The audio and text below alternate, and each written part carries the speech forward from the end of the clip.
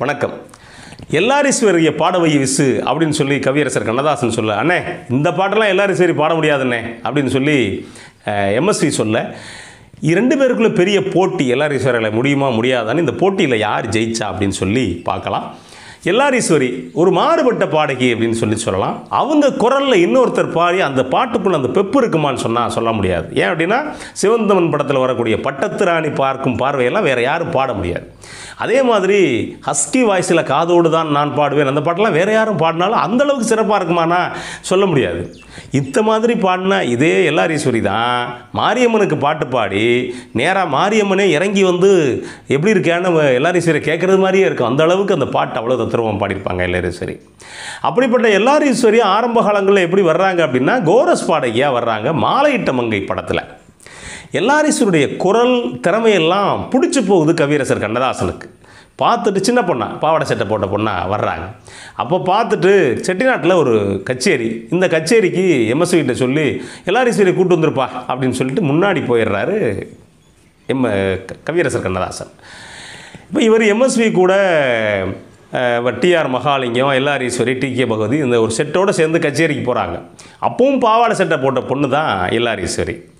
மேடைக்கு போகணும். செட்டிநாடு வழக்கப்படி பாவாடை சட்டை போட்ட பொண்ணையெல்லாம் மேடைக்கு ஏற்ற மாட்டாங்க. இப்போவும் ஆச்சார அனுஷ்டானம் பார்க்கக்கூடியவங்க என்ன பண்ணுறாங்கன்னா அவங்க அம்மா புடவையை கட்டி விட்டு போய் பாடிட்டு வான்னு சொல்கிறாங்க கொடுத்த பாட்டு ரெண்டு பாட்டு. இந்த ரெண்டு பாட்டையும் ரொம்ப சிறப்பாக பாடிடுறாங்க எல்லார் ஈஸ்வரி. பாடி முடிச்சுட்டு வேகமாக வந்து வே- அம்மா அந்த சேலை இருந்தா அப்படின்னு சொல்லி அவுத்து கொடுத்துட்டு நிற்கையில் பார்த்தா அடுத்து ஒன்ஸ் மோர் ஒன்ஸ் மோர்னு கத்துறாங்க. இவங்களுக்கு என்னென்னா ஒன்ஸ் மோர்னால் எல்லாரும் சொல்லி சொல்கிறாங்க ஒன்ஸ் மோர்னால் என்னன்னு எனக்கு அர்த்தம் தெரியாது அந்த காலத்தில் அப்படிங்கிறாங்க.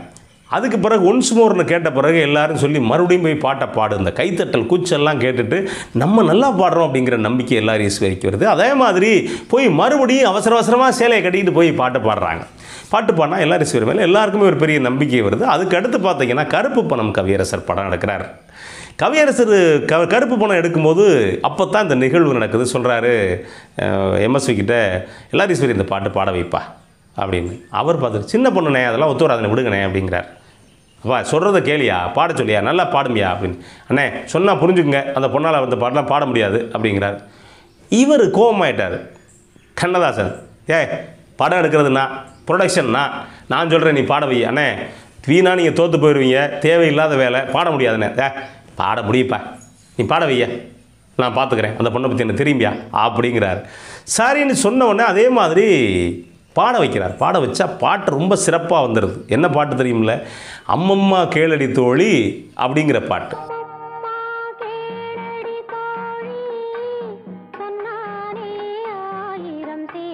இப்போ கேட்டாலும் ரொம்ப சிறப்பாக அந்த அழகாக இருக்கும் அந்த பாட்டு.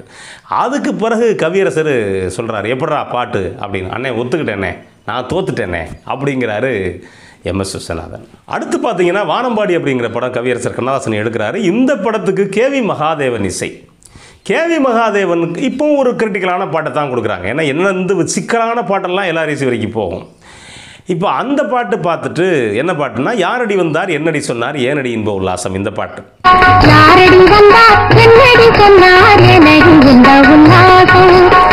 இந்த பாட்டுக்கு ஒரு சந்தேகம் கேவியம் இருக்குது ஆனால் சொல்லலை.